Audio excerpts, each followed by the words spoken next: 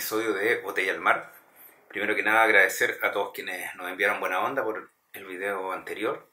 Eh, la idea es continuar eh, hablando de diversos temas, eh, como ahora, por ejemplo, que a partir de un documental que vi y que se los quiero comentar, me da paso para hablar de una curiosidad también, que es este libro que también se puede escuchar. Algunos lo conocerán, pero adentro tiene unos discos. Entonces les quiero mostrar esto, pero para armar eh, esta conexión eh, voy a partir por el documental. El documental del que le estoy hablando es En septiembre canta el gallo, un documental que ganó eh, el Festival Inedit acá en Chile el 2023 y que habla sobre la historia de la nueva canción chilena contada por sus propios protagonistas o muchos de ellos. Eh, entonces es, interesante porque no había un, documental, quizá habían ciertos reportajes, pero no un documental que eh, tratara de explicar el origen, estas conexiones y el ánimo con que finalmente eh, se generó, podríamos decir que casi sin, querer, o sea, no pensando en un movimiento, como que se originó solo. para quienes no ubican la nueva canción chilena, es un movimiento que se generó durante los años 60 en Chile y terminó abruptamente con eh, la dictadura. Bueno, siguió de alguna forma en el exilio, eh, pero ese es como en general el grueso. Eh, era un movimiento que seguía en formación además, nunca sabemos lo que, hasta dónde podría haber llegado.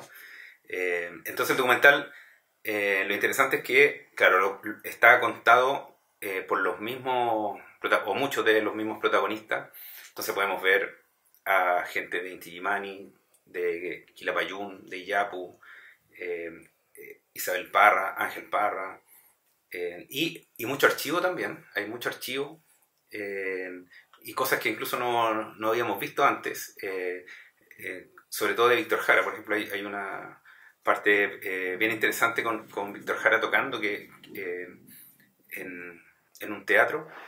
y bueno, Violeta, ¿cierto? Eh, y bueno, de, la época, todo, todo el, movimiento eh, político-social que, existía. Eh, entonces es interesante que los propios, como les dije, protagonistas, estuvieran narrando un poco esto, tratando de sacralizar un poco también esta historia tan, tan, tan de museo a veces que pareciera ser, y sin embargo eh, era algo muy vivo, ¿cierto? Sale Pedro Yáñez también, eh, Charo Cofré, bueno, eh, un sinfín de, personajes y eh, nos va mostrando también, bueno, los, los, discos, las gráficas, ah, está los Larrea, el tema de ICAP, al final se dieron muchas condiciones para que también ocurriera todo esto y eh, la importancia fundamental, que bueno, a esta altura ya nadie como que lo, lo puede negar, que es, Violeta Parra como el germen de una nueva forma de enfrentar la canción eh, y que permeó hasta el día de hoy. O sea, efectivamente cuando dicen que es la madre de la música chilena, o sea, no eh, podemos ver su influencia en, además en muchos estilos, muchos, muchos géneros musicales.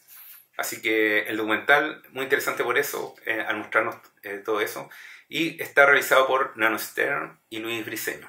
Bueno, Nano Stern lo deben ubicar muchos, ¿cierto? Eh, músico destacado, ya tiene hartas producciones, eh, tocar en vivo también, en que él siempre ha estado también como interesado y tratando conectar además con, con esa época.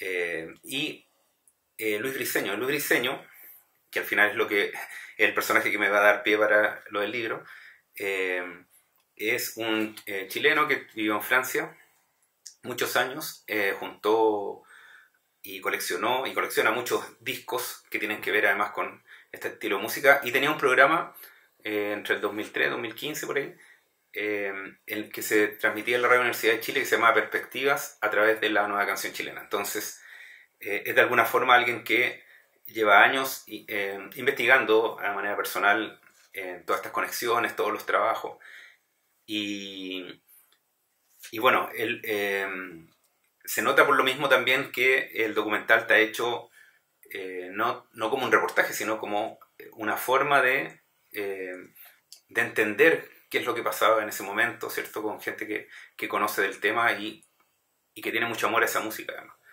Eh, así que a partir de Luis Briceño y su, y su, y su, digamos, propia investigación, con Nanoster armaron este documental que ganó, el Festival Inédit.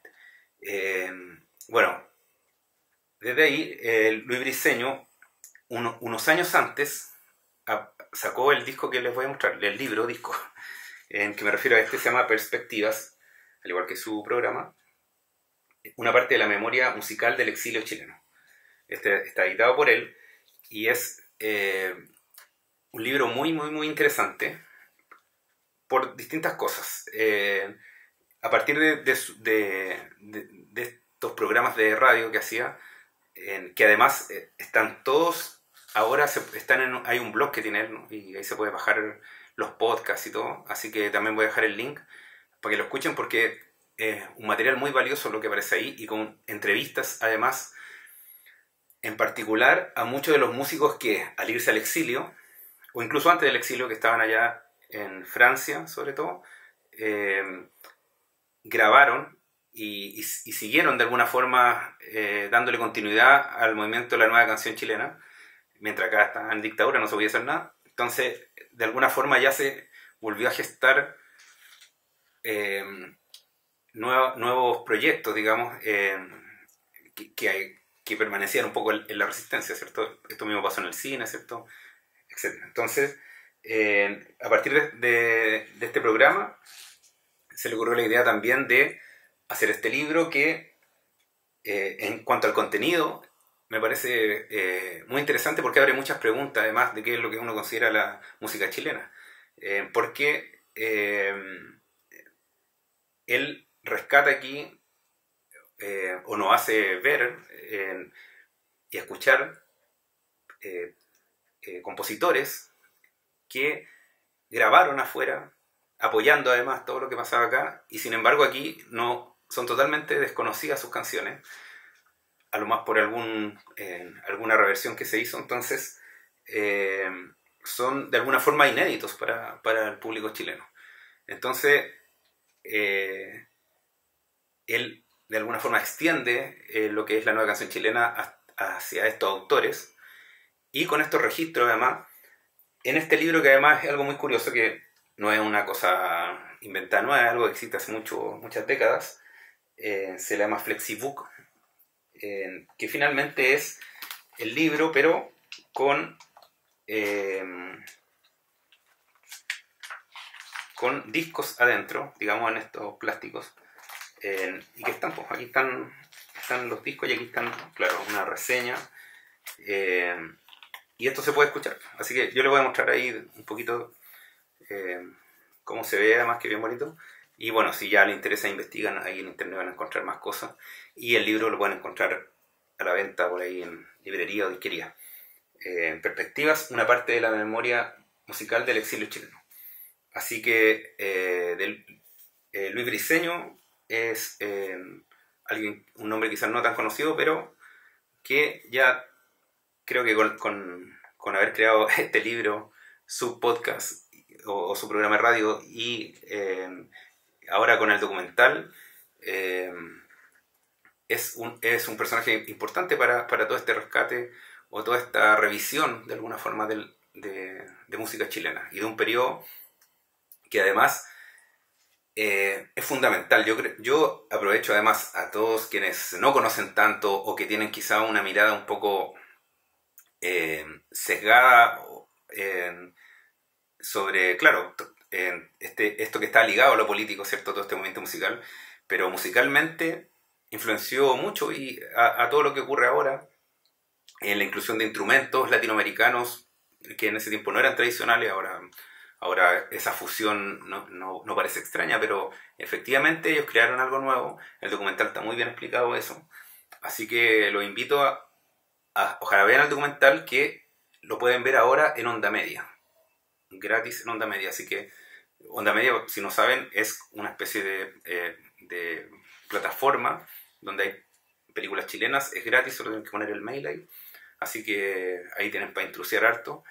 Y ahí está ahora. En, no sé cuánto tiempo va a estar, así que aprovechen y traten de ver ese documental.